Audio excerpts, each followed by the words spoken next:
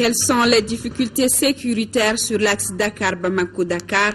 Le ministre de la Sécurité et de la Protection civile vient d'effectuer une visite au Sénégal pour en savoir davantage. C'est parti depuis hier pour la quatrième édition de la rentrée littéraire du Mali, ce rendez-vous culturel qui dure jusqu'au 28 février a pour thème diversité et vivre ensemble.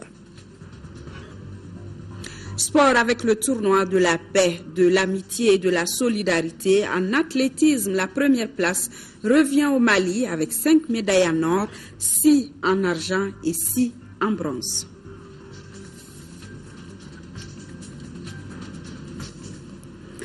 Mesdames, Messieurs, bonsoir et bienvenue dans ce journal. Le président de la République, Ibrahim Boubacar Keïta, a quitté Bamako cet après-midi pour Abuja au Nigeria. Il prendra part demain aux célébrations du centenaire du Nigeria.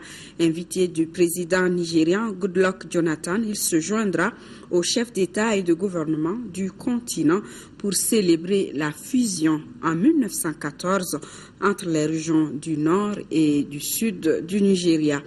Le point d'orgue de ces célébrations qui ont démarré depuis février 2013 sera ce jeudi le sommet de 24 heures placé sous le thème Sécurité humaine, paix et développement, l'agenda de l'Afrique pour le 21e siècle.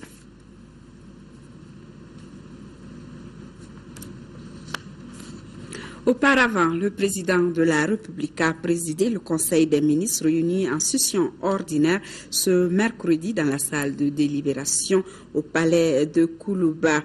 Après examen des points inscrits à l'ordre du jour, le Conseil a adopté des projets de texte, entendu une communication et procédé à des nominations.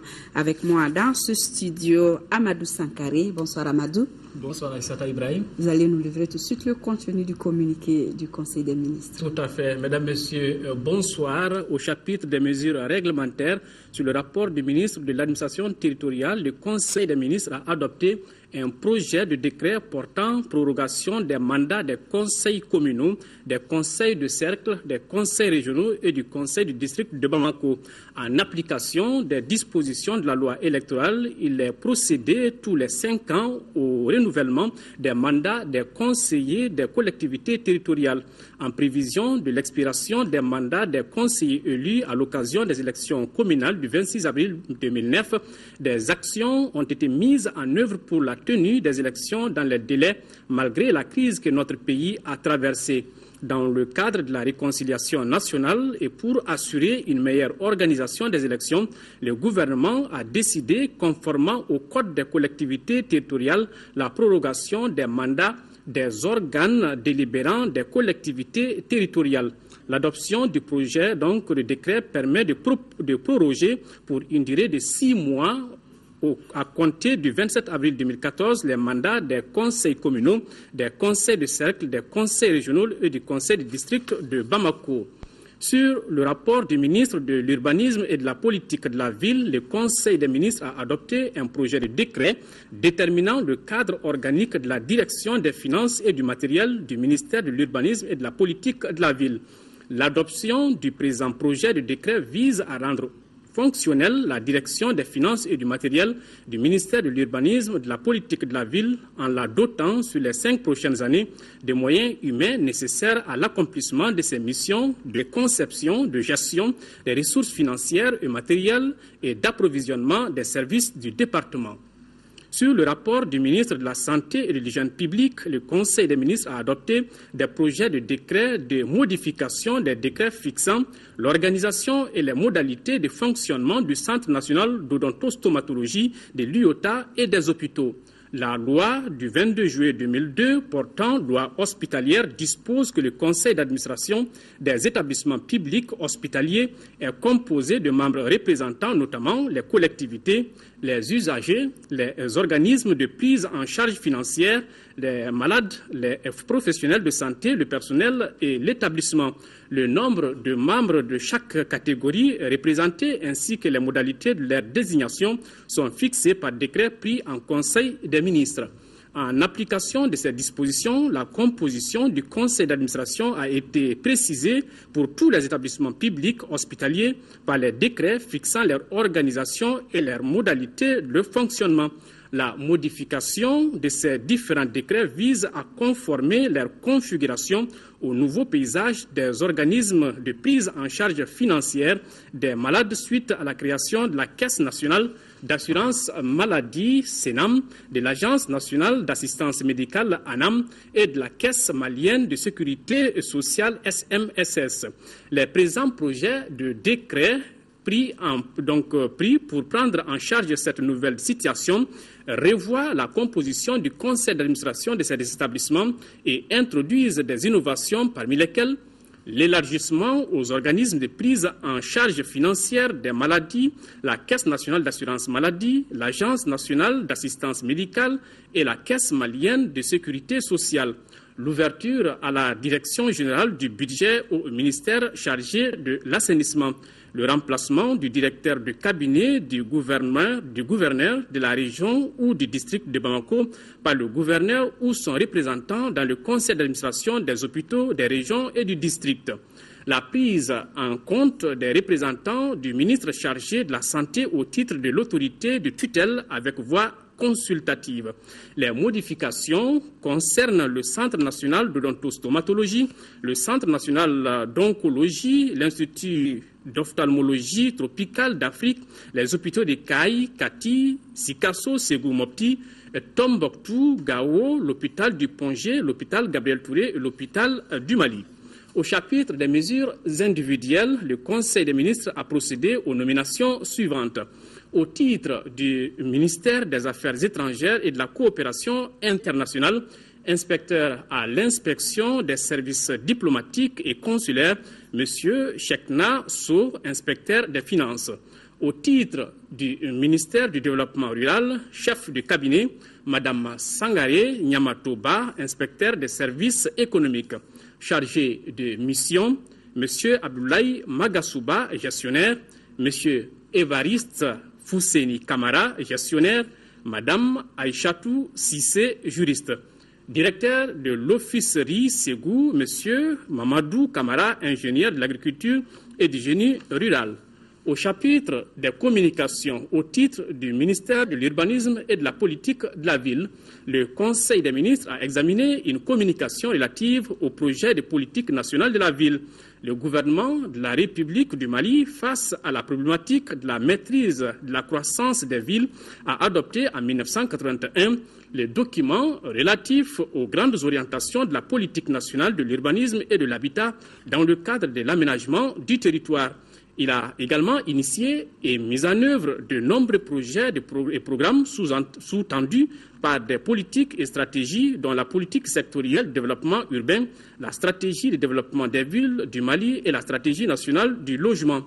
Malgré les acquis de ces politiques et stratégies, l'urbanisation dans notre pays reste encore caractérisée, entre autres, par l'étalement des villes qui constituent encore un handicap majeur dans leur développement durable, l'insuffisance d'infrastructures routières, de drainage et de services urbains de base, la difficulté d'accès à l'eau potable et à l'électricité, l'augmentation des facteurs d'insécurité dans les grandes villes, l'insuffisance de la prise en compte de l'économie urbaine et de sa capacité de résorber le chômage. Face à cette situation, il est devenu nécessaire de mettre en œuvre une politique nationale de la ville Ponave. La politique nationale de la ville vise à faire de la ville malienne un espace agréable, sûr et prospère, moteur de son développement, un cadre d'expression socio-culturelle diverse et un levain à une citoyenneté et une démocratie locale réelle. La mise en œuvre de la politique nationale de la ville permettra de rendre les villes maliennes conviviales et harmonieuses, de renforcer les économies euh, locales pour améliorer les capacités d'autofinancement des villes, de favoriser l'expression des diversités culturelles, de renforcer la citoyenneté euh, locale, de, de l'affermissement des principes démocratiques et d'améliorer la gestion des villes. La politique nationale de la ville sera conduite par l'État avec le concours des collectivités à travers l'élaboration d'un programme décennal de développement des villes du Mali, PRODEV 2014-2023, dont la première phase couvrant la période 2014-2018 va porter sur un plan d'action opérationnel. Aïssata Ibrahim voilà ce qu'il fallait retenir du contenu de ce Conseil des ministres. Merci Amadou Sankare. Vous restez un peu avec nous. Nous allons poursuivre avec ce communiqué de presse de la réunion de haut niveau de coordination internationale pour le Sahel hébergé par l'Union européenne. L'Union européenne a hébergé à Bruxelles le 6 février une réunion de haut niveau sous présidence malienne de la plateforme de coordination internationale pour le Sahel. La crise politique et sécuritaire que le Mali a traversée et qu'il surmonte peu à peu illustre la gravité des risques qui pèsent plus généralement sur la région du Sahel et du Sahara avec le soutien de la communauté internationale et de l'Union européenne en particulier. Le gouvernement malien s'emploie aujourd'hui avec détermination à restaurer la paix, la stabilité et les conditions du développement sur l'ensemble de son territoire. Néanmoins, ces efforts resteront sans effet durable si les facteurs de la fragilité se déplacent et si la crise régionale au Sahel et dans le Sahara perdure. L'Union européenne est déterminée à poursuivre et accroître ses efforts de paix, de stabilité et de développement dans la région en étroite coordination avec l'ensemble des acteurs de la région et l'ensemble de ses partenaires internationaux. L'Union européenne souscrit à l'ensemble des conclusions tirées par la présidence malienne de la plateforme de coordination internationale pour le Sahel. Côté malien, la réunion de haut niveau a souligné le caractère crucial d'un engagement international à long terme en matière de développement, de réforme de l'État et de gouvernance sécuritaire. Les participants ont noté que la dimension sociale et civile de la crise était de nature à alimenter durablement l'instabilité et devait donc être placée au, au cœur de l'action collective, tant en matière de prévention que de résolution de conflits. Les participants ont souligné la nature transrégionale des menaces. Dans ce contexte, le caractère indispensable d'une coordination régionale accrue entre pays du Nord et du Sud du Sahara a été reconnu. La présidence malienne a informé les participants de son intention de convoquer la deuxième réunion ministérielle de la plateforme de coordination internationale à Bamako au mois d'avril 2014. Le réseau des femmes parlementaires et ministres africaines a été reçu ce matin par le président de l'Assemblée nationale. Dans les échanges avec le président de l'institution, il a été question des doléances sur la parité et le respect du quota des femmes dans les prochaines municipales. Madame Maïga Sinadamba, à sa sortie d'audience, a été interrogée par Fatoumata Kone. Nous avons profité donc euh, de cette euh, audience, naturellement pour euh, parler des préoccupations qui sont les nôtres, et particulièrement les questions concernant la parité, les questions sur les problèmes de quotas. Solliciter de M. le Président de l'Assemblée nationale qu'il puisse en tout cas prêter une oreille attentive à ces préoccupations. Et ce sont là les seules préoccupations que vous avez soumises à M. le Président. Avez-vous parlé d'autre chose? Eh Bien sûr, nous avons parlé donc euh, des résultats des élections présidentielles et législatives, surtout pour les femmes, mais nous avons également parlé des élections communales qui sont en train d'arriver, qui sont des élections de proximité, et nous estimons que des efforts doivent être fournis euh, par les différents acteurs, notamment les acteurs politiques, pour que, en tout cas, la représentation des femmes soit élevé à un niveau satisfaisant. Faut-il le rappeler, aujourd'hui au Mali, nous avons 703 communes et, nous avons seulement 8 femmes maires. Et pourquoi pas, euh, en tout cas au sortir des élections de 2014, nous n'aurions pas 50 femmes maires, nous n'aurions pas 200 femmes maires sur les 700 qui constituent euh, la République.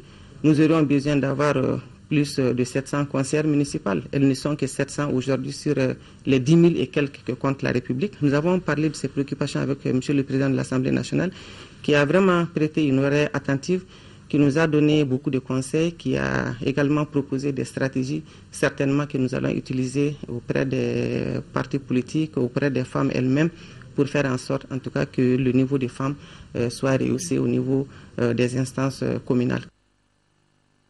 Le ministre de la Promotion des investissements et de l'initiative privée était hier au centre du secteur privé sur place. Moustapha Ben Barka a pu s'enquérir de l'état de ce centre dont la revitalisation constitue un défi majeur pour la lutte contre le chômage. Abdrahman Meka. Donner un coup d'accélérateur à la volonté politique du président de la République à travers la création de 200 000 emplois à l'horizon 2017. La concrétisation de cet ambitieux projet présidentiel passe par la revitalisation du secteur privé malien. Voilà tout le sens de la visite du ministre chargé de la promotion des investissements et de l'initiative privée au sein du secteur privé. Je voudrais mettre en exergue le défi majeur qu'il vous revient de relever, à savoir trouver une solution concrète aux difficultés d'accès à l'information économique que rencontrent nos opérateurs économiques. En outre, faire de ce cadre un véritable plateau d'assistance au secteur privé. Au cours de cette visite, Mustafa Ben Barka a suivi avec intérêt un exposé sur les réalisations de l'association pour la promotion des entreprises privées de 2012 à nos jours.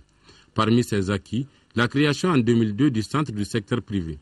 Grâce à ses potentialités, le centre devient de plus en plus un espace de rencontre et d'échange du secteur privé. Et il est vrai que vous avez une ambition sur le CSP ici à Bamako, mais il, sera après quand même 22 ans d'existence entre de l'APEP qu'il faudrait que attaquer les régions. Pour permettre au centre du secteur privé de jouer pleinement son rôle dans la promotion des investissements privés, le ministre Ben Barka a rassuré ses interlocuteurs.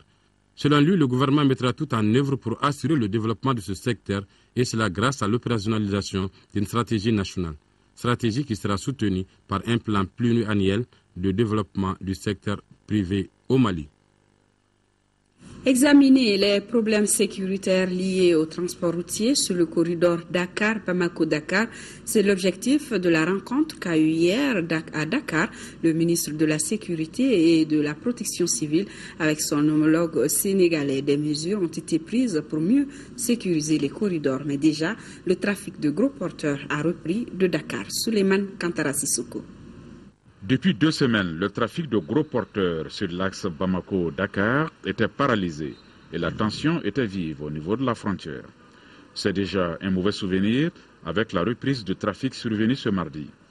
À rappeler que les gros porteurs maliens étaient interdits de franchir la frontière sénégalaise avec leur dotation en carburant à l'aller et retour.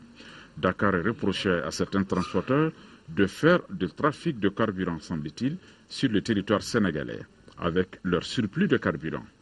À l'issue des échanges entre les ministres Sada Samake et Abdoulaye Amadou Diallo, en présence notamment de l'ambassadeur Askoufari, certaines mesures ont été prises afin de dissiper les malentendus.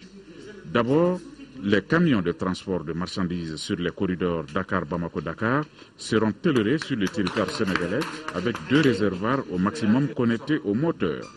Ensuite, aucun transport en vrac de carburant ne sera toléré et la vente des hydrocarbures par des personnes non agréées demeure formellement interdite. Enfin, les forces de sécurité et de défense des deux pays veilleront à l'application de ces mesures et lutteront contre toute forme de trafic. Cependant, à titre exceptionnel, les partis ont convenu de prendre des mesures de fluidité aux frontières communes avant l'application rigoureuse des dispositions prises à partir du lundi 3 mars 2014 et un cadre permanent de concertation au niveau ministériel sera mis en place pour gérer les problèmes relevant des questions sécuritaires. Je pense qu'il s'agit d'une visite d'amitié et de fraternité. Comme vous le savez très bien, au-delà des vicissitudes de la vie, nos deux pays, le Sénégal et le Mali, ont toujours œuvré pour le renforcement des relations de bon voisinage entre nos deux pays.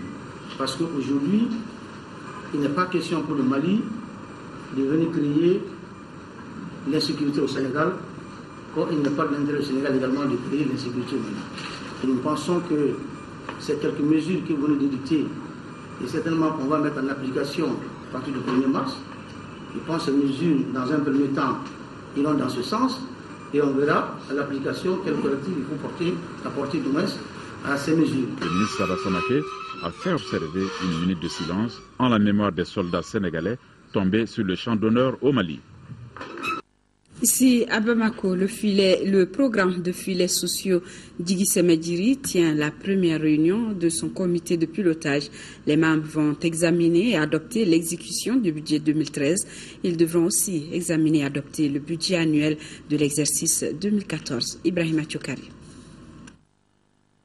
Le comité de pilotage en charge de l'orientation du programme de filets sociaux tient sa première réunion annuelle.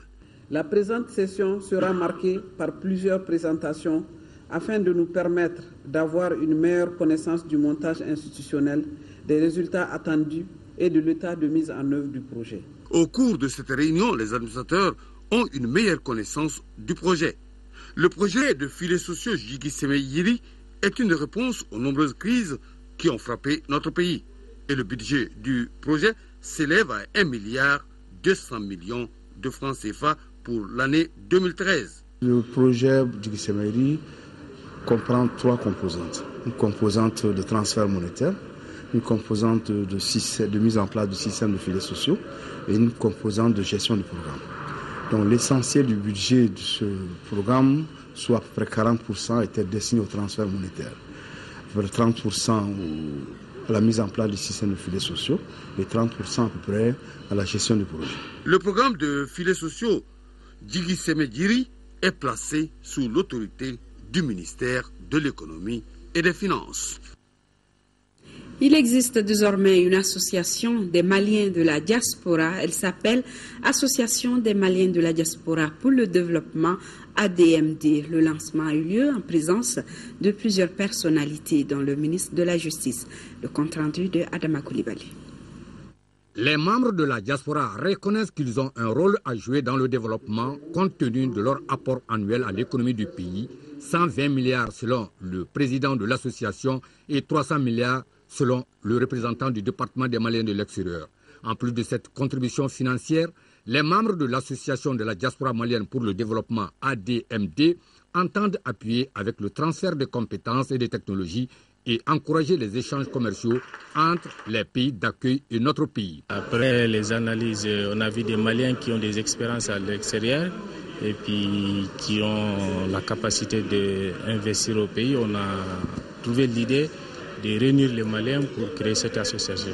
Nous pensons que nous devrions tous aller à la fois vers l'approfondissement de la paix, de la sécurité, euh, pour que nous puissions réussir la réconciliation nationale autour de projets de développement qui permettront euh, de mieux partager les ressources. Les Nations Unies sont sur cette voie-là, amener la diaspora à investir dans les pays de départ. Le représentant du ministère des Maliens de l'extérieur réitère l'engagement de son département à soutenir l'association dans ses initiatives de développement. Pour accompagner cet effort, le gouvernement vient d'obtenir la gratuité des transferts d'Orange Monnaie sur le Mali et en est en négociation avec des institutions financières pour une réduction de taxes qu'elle applique sur leurs services. Cette association apolitique et non lucrative compte mener ses actions après échange avec les groupes cibles des différents projets. Huitième session du conseil d'administration de la Société malienne de patrimoine de l'eau potable.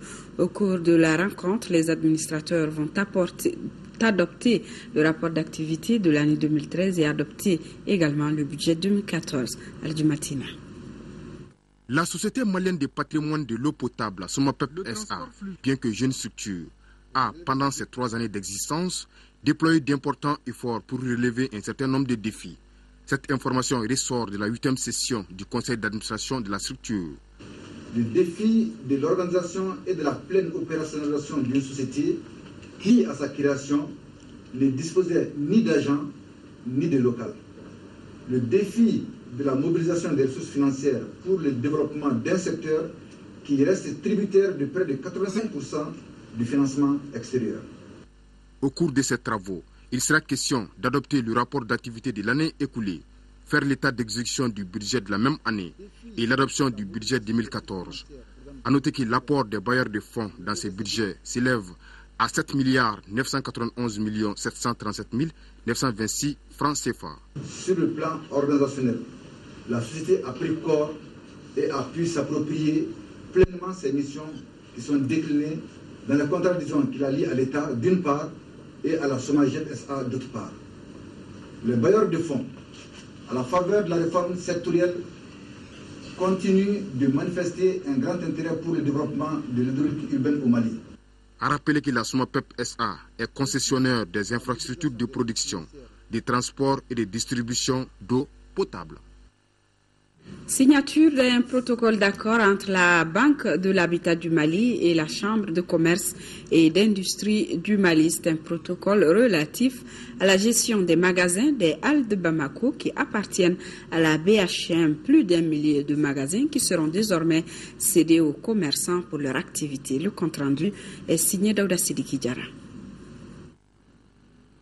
une épine de moins dans les pieds des dirigeants de la Chambre de commerce et d'industrie du Mali. Face à la problématique de recasement des commerçants, la BHM et la CECIM ont signé un protocole d'accord ce mercredi pour céder un millier de magasins des Halles de Bamako aux commerçants. De signer un protocole qui a pour but de prendre acte que la BHM et la Chambre de commerce ont convenu de céder au profit des commerçants détaillants certains magasins des Halles de Bamako. Et la convention précise bien que nous irons par étapes. Dans un premier temps, il y a environ un millier de magasins libres sans suggestion qui pourront être cédés à la Chambre de commerce pour être mis à disposition, moyennant paiement bien sûr, des commerçants détaillants. Ensuite, il y a des magasins qui sont sous suggestion. La BHM est en train de discuter avec les parties prenantes pour lever ces suggestions afin de nous les remettre également. Au bout de l'opération, nous aurons un peu plus de 2000 magasins, sinon plus. Suite euh, au souhait des autorités euh, de faire déplacer les marchands qui occupent euh, les voies d'une façon illégale et dérangeante, donc les plus hautes autorités ont jugé utile de trouver un point de recasement. Donc en relation avec la Chambre de commerce et d'industrie du Mali, nous sommes convenus de mettre en place ce protocole qui va permettre à la Chambre d'acquérir l'ensemble des magasins et des espaces commerciaux disponibles au niveau de ces marchés afin de les répartir entre les différents commerçants. Les halles de Bamako ont été construites pour devenir un centre commercial moderne. L'Ordre des architectes a organisé cet après-midi une conférence de presse sous le thème Architecture, paix et développement. Cette conférence annonce les couleurs du 25e anniversaire de l'Ordre en question, dont les activités proprement dites sont prévues pour le samedi 1er mars. Youssef Diakité. Cette conférence de presse annonce les couleurs de la célébration du 25e anniversaire de l'Ordre des architectes du Mali, prévue pour ce samedi 1er mars 2014. Pendant la conférence, les organisateurs et les journalistes ont échangé sur plusieurs sous-thèmes, notamment l'architecture et la réconciliation, le développement et la régénération des infrastructures. Nous sommes aujourd'hui au niveau de l'or à notre 25e anniversaire. Nous voulons vraiment marquer de notre empreinte euh, ces festivités. Et c'est pourquoi nous avons bien voulu faire cette conférence de presse pour euh, faire connaître au grand public ce qu'est l'architecture, ce qu'est l'architecte.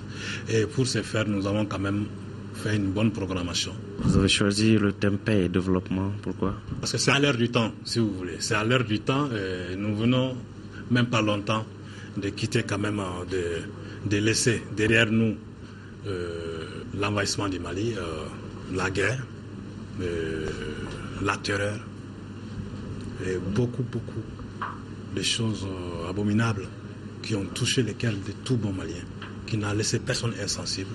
Donc, on ne se dit plus jamais ça. Les journalistes ont enfin posé des questions sur les sources de financement de l'ordre, les partenaires de l'organisation et les rapports avec le gouvernement.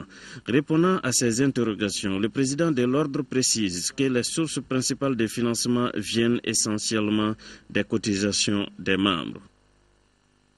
Les différentes communautés de notre pays sont à la recherche de la paix et de la cohésion sociale. C'est à la faveur, cette fois-ci, d'une rencontre intercommunautaire initiée par l'ONG Association malienne pour la survie au Sahel et World Education pour promouvoir le vivre ensemble. Et c'est la commune de Tonka, dans la région de Tombouctou, qui a abrité la rencontre Yatandina. Cette rencontre intercommunautaire a permis aux agriculteurs, éleveurs, aux femmes et aux élus locaux d'atteindre un objectif, se regrouper, s'écouter pour jeter les prémices d'un dialogue franc et direct. L'initiative est de l'ONG AMSS, Association malienne pour la survie au Sahel, à travers le projet Waleikoum. Le projet Waleikoum pour l'atténuation des conflits et la réconciliation au nord est exécuté par l'AMSS dans dix communes des cercles de Tombouctou et Goundan. Ce projet vise spécifiquement le renforcement de la capacité des femmes et des associations des femmes pour faire le plaidoyer pour la paix et la résolution paisible des conflits dans leurs foyers et communautés. À partir de cet instant, les gens vont prendre conscience. En prenant conscience, l'incivisme que les gens sont en train de faire, ils vont diminuer. La présente assemblée fort enrichissante a été plus que bénéfique pour les différents acteurs à la base. La meilleure paix, c'est celle qui a été cultivée par nous-mêmes, population à la base. Ensemble, je suis certain qu'ils pourront trouver des solutions durables par rapport au problème de la paix. Tout dépendra d'eux. Ça ne dépendra que des gens de Tonka et les autres viendront, Inch'Allah, en appoint, en complément. Il faut que les communautés se retrouvent entre eux, entre eux au sein de leur commune, au sein de, de leur cercle, pour discuter de leurs problèmes. Parce qu'en réalité, il y a eu des problèmes qui s'est passé, mais cela n'empêche, il faut que les gens se retrouvent. Ils se parlent et ils se disent la vérité entre eux. Cette rencontre de Tonka est le fruit d'une confiance entre World Education et le projet Walekum de l'Association malienne pour la survie au Sahel, AMSS. Le volet appui à l'économie locale du projet d'intervention d'urgence en faveur des régions du Nord est désormais opérationnel dans le cercle de Douanza. Ces activités ont été lancées par le directeur national de la jeunesse. Le compte-rendu de Yacouba Maïga. Le projet d'intervention d'urgence en faveur des régions du Nord et du cercle de Douanza est une initiative du gouvernement malien à travers le département en charge du travail, des affaires sociales et humanitaires. Son volet appui à l'économie solidaire locale dont les activités viennent d'être lancées à Douanza est piloté par le ministère de la Jeunesse et des Sports à travers la Direction nationale de la jeunesse et le Centre national de promotion du volontariat pour une durée de trois mois. Il s'agit de renforcer la résilience des populations en général et des jeunes en particulier dans les domaines comme les travaux à haute intensité de main-d'œuvre, tout travail qui pourrait occuper sainement les jeunes pendant le trimestre à venir. Les activités identifiées à Douanza pour les travaux de haute intensité de main-d'œuvre portent essentiellement sur la réhabilitation des murs de la Maison des Arts, le curage des caniveaux et collecteurs de drainage des eaux usées et pluviales, l'assainissement de l'enceinte du centre de santé de référence ou encore la matérialisation du domaine sportif d'environ 6 hectares attribués à la jeunesse. Je compte sur la mobilisation de la jeunesse. Donc il revient à cette jeunesse de mériter la confiance que le gouvernement a placée en elle. Dans le cadre du volet volontariat, ce sont 30 jeunes volontaires qui seront déployés auprès de certaines structures d'accueil, notamment la santé et l'administration. C'est parti depuis hier au Musée national. C'est parti depuis hier pour la quatrième édition de la rentrée littéraire au Mali. Le thème de cette année est diversité et vivre ensemble. La rentrée littéraire est un événement qui, depuis sa création en 2008, réunit des auteurs et chercheurs du Mali et d'ailleurs. Le compte rendu de Modibo Soirée. Cette cérémonie de lancement a démarré par une série de déclamations poétiques d'écrivains maliens et leurs homologues invités à cette quatrième rentrée littéraire du Mali. Véritable rencontre culturelle majeure du continent africain, la rentrée littéraire se veut un forum qui célèbre le livre, l'écriture, la littérature et le savoir. Le rendez-vous 2014 qui se tient dans un environnement particulier au moment où notre pays retrouve sa stabilité, propose une série d'innovations autour d'un thème évocateur intitulé Diversité et vivre ensemble. C'est quand même une édition qui se passe dans un contexte où le débat est porté sur ces thématiques-là et nous pensons que les écrivains, les hommes de lettres peuvent aussi apporter leur part dans la réflexion. Et l'autre particularité, c'est qu'à partir de cette édition, la rentrée littéraire va être annuelle. Pendant quatre jours, notre capitale accueillera une soixantaine d'auteurs venant de France, de Belgique, d'Algérie, du Niger, de Mauritanie, du Sénégal, du Cameroun, du Congo et bien d'autres destinations se retrouveront autour d'une quinzaine de manifestations. Bref, Bamako sera le point de convergence des professionnels du livre et des amoureux de l'écrit. Il importe en effet que dans le contexte de la mondialisation, les professionnels du livre africain s'attellent à la diversification des instances de consécration et de reconnaissance des talents. La rentrée littéraire du Mali s'inscrit dans cette veine en faisant la promotion de la littérature africaine afin qu'elle soit reconnue uniquement par sa valeur intrinsèque. La rentrée littéraire du Mali est donc un espace d'échange pluriel qui permet aux écrivains africains non seulement de confronter leurs expériences respectives, mais aussi et surtout de se familiariser avec leur public potentiel. Ce thème, diversité et vivre ensemble, est plus que d'actualité au Mali, puisqu'il s'inscrit parfaitement dans le vaste chantier de la réconciliation et de, la reconstruction nationale que le gouvernement est en train de réaliser. On peut donc considérer que ce forum est une réponse à cette exigence de développement qui impose que les capacités du monde littéraire soient exploitées au mieux pour promouvoir et soutenir la paix et la stabilité politique, le développement économique et la cohésion la rentrée littéraire est un événement qui magnifie la richesse et la diversité de la vie littéraire au Mali et en Afrique. La manifestation donne aussi l'opportunité de renforcer l'intérêt du grand public, notamment les scolaires pour les livres. Et littérature, toujours, nous vous, nous vous présentons ce recueil de poèmes qui est dénommé Brib, Brib qui est de Cheikh Mouktari Diara, auteur l'auteur de ces poèmes livre son regard sur un monde en besoin de justice et de solidarité. Brib exprime les diverses sensibilités de l'auteur dans une société où il a gardé la beauté des souvenirs de son enfance, mais aussi les rigueurs et les difficultés des combats pour l'épanouissement de l'homme tout court. Brib se trouve dans les éditions Diamana. Nous poursuivons avec euh, le, commissariat de police du 13e arrondissement qui vient de démanteler un réseau de bandits spécialisés dans le vol de véhicules de marque Mercedes. Après le vol, les véhicules sont démontés en pièces détachées pour être vendus sur le marché. Abdraman Meka. Cette Mercedes était en bon état. Il y a de cela quelques jours dans la région de Segou et plus précisément à Markala. Volée et conduite à Bourg-Kasumbougou en commune industrielle de Bamako, elle a subi une opération pour devenir ce que vous voyez, un tas de ferrailles destiné à la vente sur le marché. Ce travail est l'œuvre de ces quatre bandits de grand chemin qui sont tombés dans les filets du commissariat du 13e arrondissement. Les faits remontent euh, d'une semaine à peu près. le vol est lié à Maracala, euh, au préjudice d'un certain Adman euh, Samaki. Il est résident, il est mécanicien dans les centres mécaniques de centraux de Maracala. Donc le véhicule a été volé à Marakala pour être conduit le même jour à Ségou. Donc arrivé à Ségou, euh, au domicile du, nommé Étienne, il, a procédé à la, métamorphose du, véhicule en changeant la pédale grise en pédale jaune, en immatriculant les nouveaux, en, en, mettant un faux numéro d'immatriculation, euh, afin il a cherché un preneur qui pouvait euh, quand même euh, liquider les véhicules à Bamako. Après leur interpellation, ces bandits, au dire du commissaire Tangara, ont reconnu les faits, mais soutiennent cependant qu'ils sont à leur première tentative. Sport avec le tournoi de la paix, de l'amitié et de la solidarité en athlétisme, les compétitions qui ont réuni les athlètes de huit pays ont pris fin hier au stade Modibukita en première place. Le Mali avec cinq médailles en or, six en argent et six en bronze. Isaac Tino.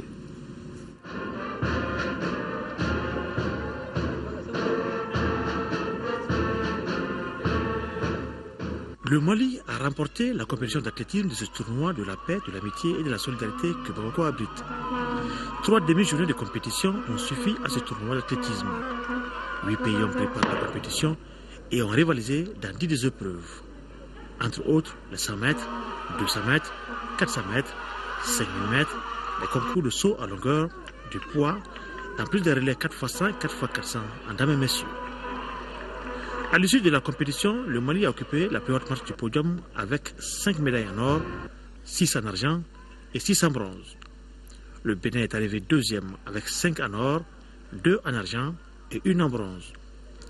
La troisième marche du podium est occupée par l'Algérie, qui a récolté 4 médailles en or, 6 en argent et 2 en bronze. Cette compétition a concerné les juniors et est venue à point nommé pour la Fédération malienne d'athlétisme. C'est une, compétition des équipes juniors. le, niveau de la compétition est, appréciable. dans certaines épreuves, ce niveau dépasse euh, largement celui du tournoi de la solidarité que l'on connaît très bien ici. Mais dans certaines épreuves, c'est à peu près le même niveau euh, que le tournoi de la solidarité, mais qui est un tournoi euh, qui concerne les catégories seniors. Ce tournoi ne concerne que les catégories juniors. Les trois premiers de chaque épreuve ont reçu des médailles.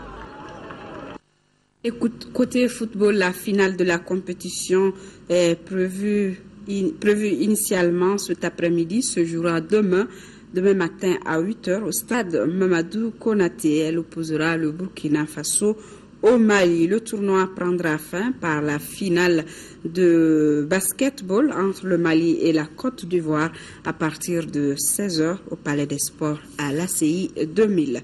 Page noire de cette édition, la mort qui a encore frappé à la porte du monde de la presse, Amadou Cham, journaliste à la retraite et ancien ambassadeur, est décédé hier à l'âge de 78 ans. Pendant près de 40 ans, il s'est montré à la hauteur des missions de service public à lui assignées.